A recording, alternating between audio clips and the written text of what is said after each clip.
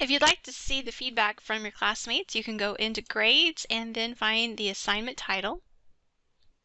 Go down to Wiki Peer Reviews.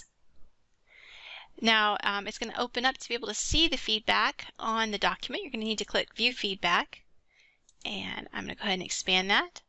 Now you can see um, the different comments left by your classmates for the comments area. Now if you go to Show Rubric, you'll be able to see how each one of your classmates assessed you.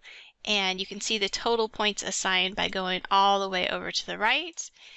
Um, and you can select the different classmates just by clicking the drop down to see how they rated you for the different criteria.